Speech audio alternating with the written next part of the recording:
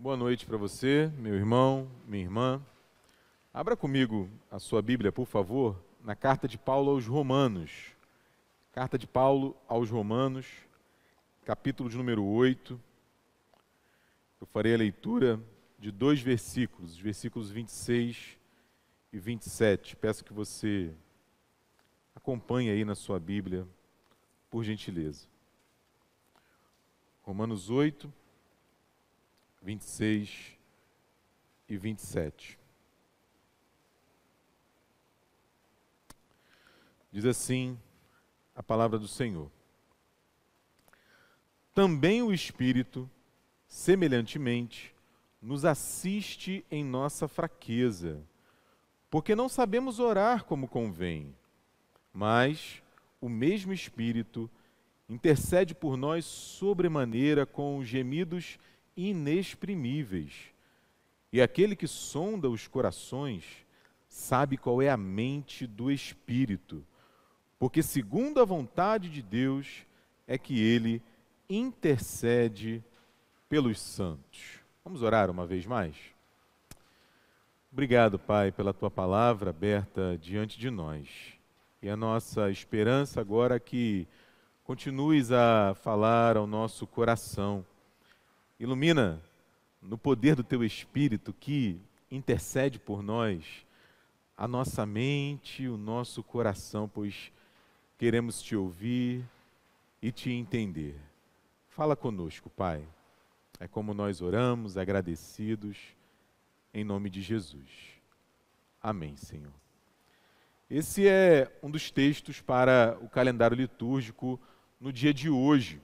É? A gente fez a leitura do Evangelho agora há pouco, vimos ali algumas parábolas que o Senhor Jesus conta para os seus discípulos e as parábolas, os textos proféticos, o texto do Salmo, o texto da carta paulina para o dia de hoje, todos eles nos convidam à confiança no Senhor, a observar o que Deus está fazendo e a cooperar com Ele, a perceber o privilégio que é ter Deus do nosso lado ter Deus conosco, ter Deus fazendo, agindo infinitamente mais do que a gente pensa, do que a gente espera. No texto do apóstolo Paulo, o texto da carta aos Romanos, que nós acabamos de ler, ele não poderia ser mais claro em relação a isso. Porque ele aponta de forma muito objetiva uma fraqueza, uma necessidade, uma dependência minha e sua na nossa caminhada com Deus. A gente simplesmente não sabe orar como convém. Ele é objetivo, ele é claro, ele fala isso.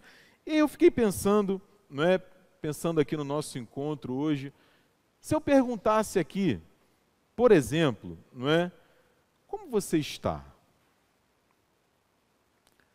Como você está hoje?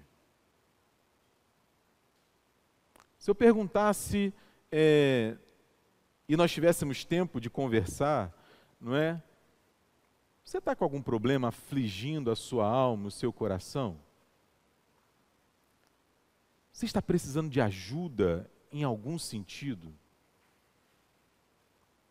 É bem possível que nós não saíssemos daqui nessa noite se tivéssemos condição de ouvirmos uns aos outros, conversarmos, orarmos uns pelos outros, porque eu não tenho dúvidas, cada um de nós tem os seus desafios. E cada um de nós precisa de ajuda, sobretudo da ajuda do Senhor. E a Bíblia é pródiga em nos falar sobre como Deus nos auxilia, nos estende a mão, nos abençoa. E esse é um dos textos que falam exatamente sobre isso. Então a gente vai entender um pouco mais esses dois versículos, o contexto do que o apóstolo está falando, e aí, com a graça de Deus, recolher dele algumas lições. Como a gente já leu, né? a gente está em Romanos 8, é um dos textos famosos dessa carta do apóstolo Paulo. Imediatamente após os versículos que nós lemos aí, tem o versículo 28, que eu e você sabemos de cor, não é? Sabemos de cor. Quando Paulo diz, sabemos, porque é bem verdade que nós não sabemos de alguma coisa ou de bastante coisa, mas de alguma coisa a gente sabe. E aí o Paulo fala isso. Sabemos que todas as coisas cooperam para o bem daqueles que amam a Deus, daqueles que são chamados segundo o seu propósito, segundo aquilo que Deus está realizando na história. E a gente deve se perguntar, quando a gente se depara com o texto bíblico, por que, que o Paulo está dizendo isso? Por que, que ele vai dizer um pouco mais à frente que Deus cuida de nós? Por que, que ele vai trazer para a gente quase aquela canção caminhando para o final desse capítulo 8, que o reverendo Jabes lembrou a gente hoje pela manhã, no final da sua mensagem, que nada, em absoluto, pode nos separar do amor de Deus, o que leva o apóstolo Paulo a falar sobre isso aqui. Os versículos 26 e 27 nos ajudam a entender um pouco do que o Paulo está falando. E aí é importante a gente voltar um pouquinho ao versículo 19. Porque o Paulo, ele vai conversar aqui com a gente, primeiro com a igreja de Roma, né? depois comigo e com você aqui hoje, e ele vai usar uma metáfora muito interessante, não é? uma, uma analogia muito interessante. Tem alguma mãe aqui? Tem alguma mãe? Alguém que teve filho? é? Temos algumas mães aqui presentes. A metáfora que o Paulo usa é especial para você. Você vai entender isso aqui muito simples, porque o Paulo fala de uma mulher em dores de parto.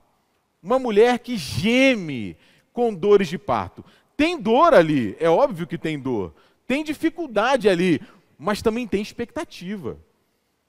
É um gemido dolorido, mas cheio de expectativa, cheio de esperança. Esperança de quê? De ver o filho nascer, de ver a criança não é, receber a luz, chegar ao mundo. E aí o Paulo pega essa imagem, pega essa analogia, para falar de três circunstâncias em que alguém ou alguma coisa geme também.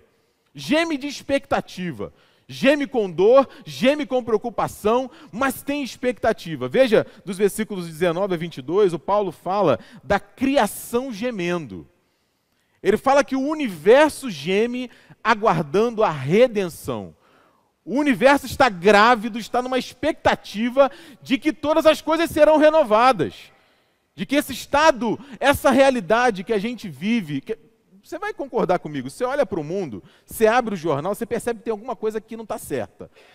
Você percebe que tem alguma coisa que deu errado. Isso, nas palavras do apóstolo Paulo, é o universo gemendo, aguardando a redenção. Aí você vai para os versículos 23 e 25, o Paulo fala dos gemidos dos filhos de Deus. Os filhos de Deus gemem, aguardando a sua redenção completa. Semelhante àquele gemido da criação, o filho, a filha de Deus, eu e você, estamos na expectativa daquilo que o Apocalipse nos promete, por exemplo, de que dos nossos olhos serão enxutas as lágrimas, de que haverá nova criação, que a cidade de Deus vai descer, nós habitaremos com Ele eternamente. A gente geme. É só olhar para a nossa vida e pensar nas perguntas que eu acabei de fazer aqui para mim, para você, que a gente vai se lembrar disso. Nós estamos gemendo. É doloroso essa, é dolorosa essa expectativa. E aí nos versículos 26 e 27, o Paulo traz um outro gemido, mas é um gemido de uma natureza diferente. Né? Você reparou aí os gemidos inexprimíveis do Espírito Santo de Deus. Ele também geme, mas ele geme como eu falei, de uma maneira diferente. O Espírito Santo de Deus fala nesse gemido de uma necessidade nossa, uma fraqueza nossa, como nos auxilia o comentarista bíblico William Hendricks. E não apenas isso, ele fala de uma confiança também que a gente pode ter. Ele fala de uma confiança e fala também de uma certeza. Porque veja, a angústia e a expectativa que faz com que a criação e os filhos de Deus é, tenham ali os seus gemidos, não tem a ver com o Espírito Santo especificamente. O Espírito Santo não está angustiado, aguardando a redenção. O Espírito Santo não está angustiado, gemendo, aguardando a sua própria redenção. Como a gente vai ver agora, essa, esse gemido inexprimível do Espírito tem uma natureza diferente. E, primeiramente, eu quero destacar essa necessidade essa fraqueza minha e sua que o apóstolo Paulo faz questão de apontar. Ele não deixa dúvidas, ele não deixa dúvidas diante de nós. Ele fala: olha, decorrente do pecado que habita em mim, que habita em você, nem orar a gente sabe como convém. Nem orar nós sabemos da maneira correta. Nós não sabemos orar exatamente segundo a vontade de Deus. E, claro, né, eu fiquei pensando nisso aqui. Eu falei, gente, quem é que está dizendo isso daqui? Hum? O apóstolo Paulo. Aí o que, que você pensa, Felipe? Se o apóstolo Paulo está dizendo que não sabe orar como convém, imagina a gente, né? Imagina eu e você. Porque é meio estranho, né? O apóstolo, missionário, plantador de igreja, autor bíblico, um grande pastor, dizer que não sabe orar como convém. O que ele está querendo dizer aqui? Aí eu quero fazer um convite para você. Abre a sua Bíblia aí, na carta aos Efésios. Carta aos Efésios, capítulo 3, dos versículos 14 a 21. É um exemplo de uma oração do apóstolo Paulo. Efésios, capítulo 3, eu vou pedir para você acompanhar a leitura aí comigo, por favor. Efésios, capítulo 3, versículos do 14 ao 21. Veja o que o Paulo escreve para a igreja de Éfeso. Por esta causa, me ponho de joelhos diante do Pai, de quem toma o nome toda a família, tanto no céu como sobre a terra, para que, segundo a riqueza da sua glória, ou seja, ele está orando, e ele vai escrever essa oração. Olha a oração do apóstolo Paulo. Segundo a riqueza da sua glória, vos conceda que sejais fortalecidos com poder, mediante o seu espírito no homem interior. E assim, habite Cristo em vosso coração pela fé, estando vós arraigados, alicerçados em amor, a fim de poder descompreender com todos os santos qual é a largura, o comprimento e a altura e a profundidade e conhecer o amor de Cristo, que é verdade, diz o Paulo, excede todo o entendimento, para que sejais tomados de toda a plenitude de Deus. Ora, aquele que é poderoso para fazer infinitamente mais do que tudo quanto pedimos ou pensamos, conforme o seu poder que opera em nós, a ele seja a glória na igreja e em Cristo Jesus por todas as gerações, para todo sempre. Amém. Esse é o cara que está dizendo que não sabe orar. E ele escreve esse tipo de oração, que é, como eu falei, apenas um exemplo. Ou seja, fica muito claro aqui para a gente que o Paulo sabe alguma coisa sobre oração.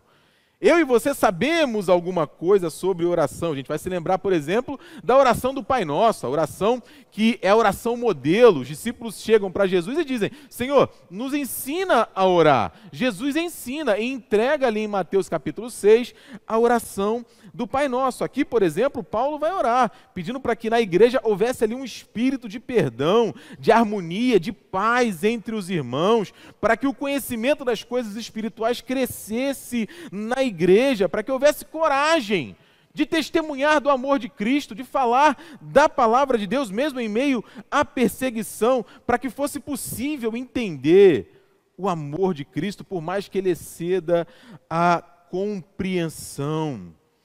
Ou seja, vou repetir: Paulo, eu e você sabemos alguma coisa sobre oração. Sabemos alguma coisa sobre falar com Deus. O que o texto está dizendo aqui é que tudo sobre oração, tudo sobre a vontade de Deus, o Paulo não sabia e eu e você não sabemos também. Esse é o chamado do apóstolo Paulo. E eu separei dois exemplos aqui de orações assim, é, no mínimo uma, pelo menos, foi com certeza equivocada. É? A outra foi esperançosa, mas não foi respondida. Se você for depois lá em Lucas, no capítulo 9, no versículo 54, é um episódio singular. É? Jesus envia os discípulos para pregar o evangelho na cidade de Cafarnaum. E os discípulos pregam e a galera não ouve. O pessoal não responde, não acolhe a mensagem. E aí, aquele discípulo que a gente conhece como discípulo amado, discípulo amoroso, carinhoso, que está sempre falando sobre amor não é? e tudo mais, ele fala assim: Senhor, não é? será que a gente não pode orar aqui pedindo para cair fogo do céu? E queimar esse pessoal aí que não recebeu o evangelho? E perceba que ele faz isso inspirado na Bíblia. Porque era exatamente o que Elias tinha feito. Se você for lá depois no primeiro livro dos Reis, capítulo 9, versículo 16, é isso que o Elias faz. Ele ora e cai fogo do céu. você vai se lembrar da resposta de Jesus. Não é? Ó, vocês não têm ideia do espírito que vocês são. Não é? A vocês não cabe o juízo. A vocês cabe o evangelho. Cabe o anúncio do evangelho. Jesus vai dizer que foi para isso que ele veio. E ele repreende o Tiago e o João por aquela é, é, oração louca, equivocada, não é? nonsense, sem sentido. Não, não. Então, assim, orar para descer fogo do céu na cabeça de quem a gente não gosta, ou não, não é uma boa oração, viu, Sula? Infelizmente, né, se alguém estava nessa expectativa aí, né, Senhor, desce fogo. Não dá, não é? Não dá, não é desse jeito. Então, é um exemplo de uma oração equivocada. Agora, tem um exemplo impressionante de uma oração que faz todo sentido. De uma oração que a gente lê assim e fala, puxa, como assim Deus é, diz não para isso que essa pessoa está pedindo? É aquele episódio do apóstolo Paulo, ele sabia do que ele estava falando aqui em Romanos 8. Lá em 1 Coríntios, perdão, em 2 Coríntios, no capítulo 12, é o episódio do espinho na carne do apóstolo Paulo. A gente se lembra da história, não é? A gente sabe que não sabe o que era o espinho, mas que aquilo incomodava o apóstolo Paulo. Depois você dá uma olhada lá em 2 Coríntios, no capítulo 12. Né? O Paulo, pelo texto, pelo que ele diz, ele tinha firme convicção de que se ele fosse liberto daquele espinho, a vida dele seria melhor. Ele poderia servir melhor a Deus e pregar com mais convicção o evangelho, por isso ele ora. Por isso ele pede a Deus e ele escreve isso. E ele ora quantas vezes, gente? Ele não ora uma, ele não ora duas, ele ora três vezes. E é interessante porque Deus responde para ele. Deus responde para ele. Paulo, não é isso que você precisa, Paulo. O que você precisa é da minha graça. A minha graça te basta porque o meu poder se aperfeiçoa na sua fraqueza. É interessante que ele mesmo fala o motivo de ser daquele espinho. Está lá no texto. É para que ele não se ensoberbecesse. Para que diante das visões que ele teve, de todo o relacionamento que ele possuía com Deus, ele não incorresse na soberba. Ou seja, é um exemplo de uma oração que Deus responde de uma forma divergente daquela que o orante, vamos dizer assim, pediu. Ou seja, que lições aqui a gente pode tirar dessa nossa fraqueza, dessa nossa necessidade? Eu já adiantei, não é? Em primeiro lugar, a gente sabe alguma coisa sobre oração. Alguma coisa a gente sabe. A gente sabe, por exemplo, que devemos orar. Não é? é um chamado bíblico em todo o tempo. A gente vai ver várias personagens bíblicas orando, conversando, cultivando um relacionamento com Deus.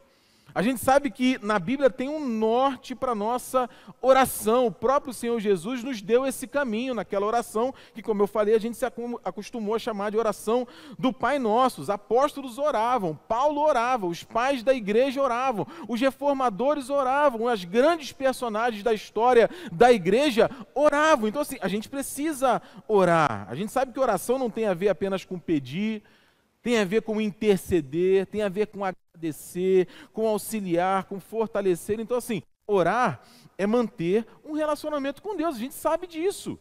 Agora, nós não sabemos tudo sobre oração. Nós não sabemos tudo sobre Deus. Por exemplo, eventualmente, eu e você vamos orar de forma equivocada vamos orar de forma errada, falando o que a gente não deveria falar. A gente vai orar de vez em quando e Deus vai nos responder. Mas vai responder de uma maneira diferente daquela que a gente orou. Por quê? Porque Ele sabe o que é melhor para nós. Agora, nada disso deve nos impedir de orar. Esse é o ponto aqui. Esse é o ponto aqui. Nada disso deve nos impedir de orar. Por quê? Exatamente porque nós temos para nos auxiliar. Diz o apóstolo Paulo que o Espírito Santo nos assiste nas nossas fraquezas, porque nós não sabemos orar como convém. Não sabemos pedir do jeito correto, pelo menos não completamente. E é muito interessante não é, que o Paulo não coloca aqui esse auxílio do Espírito Santo restrito apenas à oração. Ele diz que o Espírito Santo nos assiste na nossa fraqueza. Que vai se revelar de várias maneiras. O exemplo que ele dá aqui é o exemplo da oração. Não é sem motivo que a gente vai ver no texto bíblico que o Espírito Santo é consolador é auxiliador, é aquele que está ao nosso lado, é o paráclito, é aquele que nos dá o dom, os dons do Espírito. É aquele que faz crescer em mim e você o fruto do Espírito Santo, que nos santifica. Ou seja, meus irmãos, Deus sabe que eu e você precisamos de ajuda, precisamos de auxílio, por isso Ele não nos deixa sozinhos, o Espírito Santo está conosco. Então, se tem uma necessidade que é a nossa fraqueza, o Espírito Santo nos auxilia. Agora ele nos convida também a uma confiança. A uma confiança, que é a confiança na capacidade do Espírito Santo. Porque você percebeu no texto, né? O Espírito Santo intercede por nós sobremaneira com gemidos inexprimíveis. Né? E a gente tem que perguntar: o que é isso?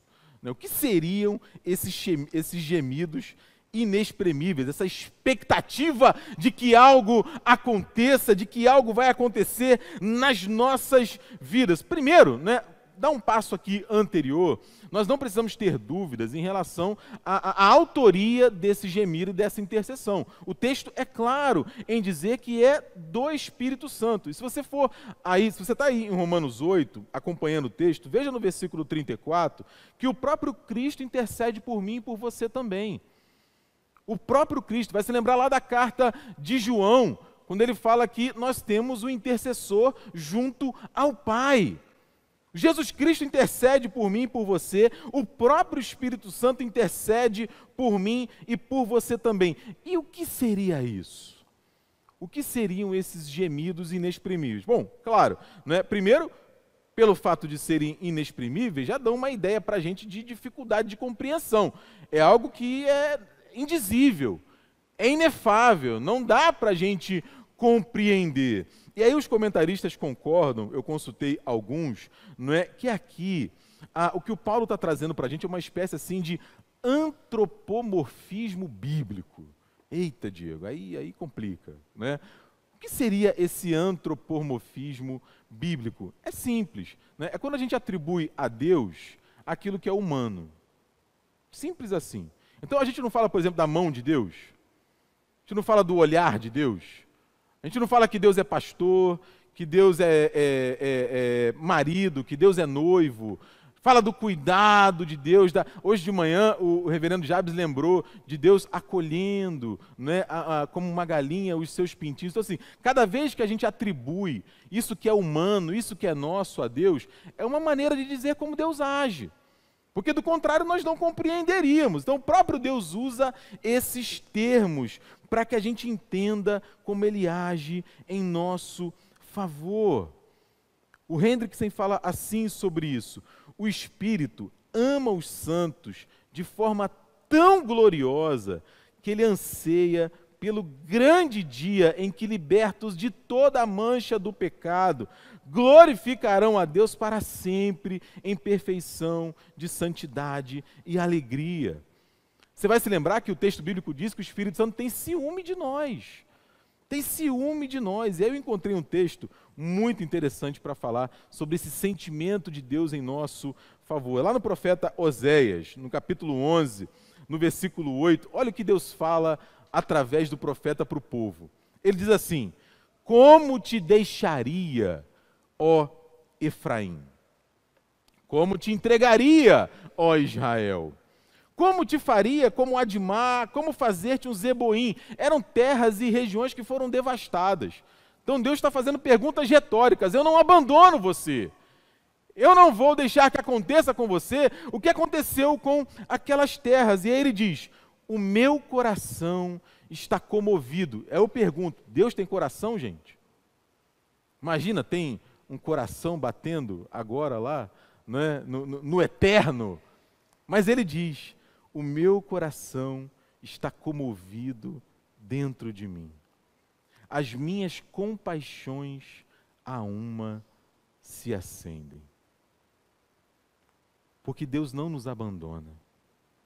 Deus não nos deixa a nossa própria sorte. O Filho não nos abandona, o Espírito Santo não nos abandona, tanto que no texto aqui nós vemos o Paulo falar isso. Jesus Cristo intercede por mim e por você, e o Espírito Santo intercede por mim e por você. E o Espírito Santo faz isso dentro de nós. Dentro de nós. É, o, é Jesus quem fala e João escreve: Eu rogarei ao Pai, e ele vos dará outro consolador além de mim, outro consolador, a fim de que esteja para sempre convosco o Espírito da verdade, que o mundo não pode receber porque não o vê nem o conhece. Vós o conheceis porque ele habita convosco e estará em vós. O que isso quer dizer aqui para a gente? Não é? É fato, nem sempre a gente vai orar do jeito certo, mas o Espírito Santo nos ajuda intercede por nós. Intercede por nós de uma maneira que a gente não entende. Às vezes as palavras nos faltam, as lágrimas vêm, as lutas chegam e a gente não sabe o que dizer, não sabe para onde ir, não sabe o que fazer. O nosso vocabulário simplesmente não é suficiente, porque muitas vezes nem mesmo a gente sabe dizer o que está sentindo. Nem a gente mesmo sabe o que quer. Eu fiquei pensando, como que deve ser isso? Né? Às vezes eu estou orando, e aí eu fiquei imaginando o Espírito Santo intercedendo por mim e falando: Pai, não é nada disso que o Diego precisa. Nem ele sabe o que ele quer. Não é desse jeito, não faz isso, não dá isso para ele, não leva ele por aí, porque ele não sabe o que é melhor para ele. Mas a gente sabe. Mas a gente sabe. E eu fiquei imaginando o Espírito Santo intercedendo por mim, intercedendo por você. Por isso eu repito: não há motivos para a gente não orar. Porque a gente está vendo aqui que Deus sonda os nossos corações, que o Espírito intercede por nós mesmo quando a gente não sabe o que dizer. E aí a gente caminha para o final com essa certeza. Essa certeza que o versículo 27 oferece para a gente, que é a certeza da comunhão do Pai, do Filho e do Espírito Santo de Deus. Porque você já deve ter visto isso em algum momento da sua caminhada. Não é? De vez em quando chega alguém e fala para a gente assim: não, Diego, olha só, eu vou orar lá com o reverendo Fulano, eu vou orar, orar lá com a irmã Fulana, porque ela tem uma oração poderosa. Aquele pastor, quando ora, Deus responde. Imagina isso né? A pessoa que tem uma conexão assim direta com Deus e Deus fica meio que constrangido, né? Não, se é o reverendo Duzi que está orando, ô Miguel, responde lá, né? Miguel é o anjo, tá, gente? Né? Ô Miguel, responde lá, porque é o reverendo Duzi que está orando. Não faz sentido isso. Não faz sentido. É óbvio que é importante que a gente aprofunde a nossa comunhão, a nossa intimidade com Deus. Agora, imagina Deus sendo obrigado a atender uma oração, porque foi o Diego, porque foi a Márcia, porque foi o diácono Marco Aurélio que fez. Não faz sentido. Agora, gente, o Paulo está dizendo aqui que quem intercede por mim e por você é o Espírito Santo de Deus. E ele faz isso em comunhão com Jesus, em comunhão com o Pai. Você já parou para pensar nisso? Que quando a gente ora, sobre as nossas orações está o próprio Espírito Santo intercedendo por mim e por você. E aí eu pergunto para você: o Espírito Santo sabe o que diz? O Espírito Santo tem comunhão com o Pai? O Espírito Santo tem poder para fazer acontecer na minha vida e na sua aquilo que ele se propõe a fazer?